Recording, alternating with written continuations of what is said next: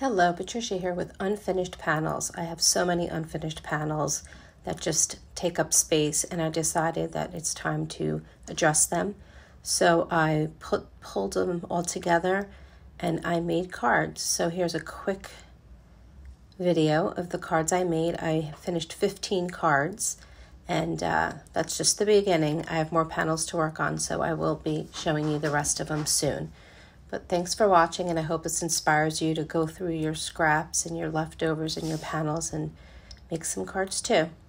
Thanks for watching and have a good one.